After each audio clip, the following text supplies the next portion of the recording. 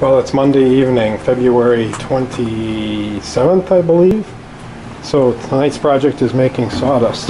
As you can see, I made three barrels of sawdust. And uh, working on the red oak siding for the inside.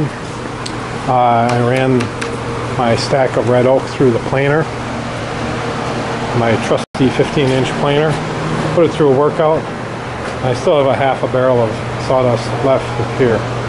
So this started out as a mountain of wood. I had to rip it down to six inches wide so that I could resaw it on the table saw. Uh, first I cut in about an inch and a half and then up about three inches. Then I flip it over, up about an inch and a half and up about three inches again. So I got a nice stack of red oak that uh, I can use for the interior paneling in the RV box truck conversion project.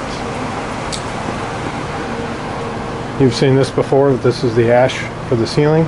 It's already got three coats of uh, General Finishes satin varnish on it and it's cut to length and it's pretty much ready to put up.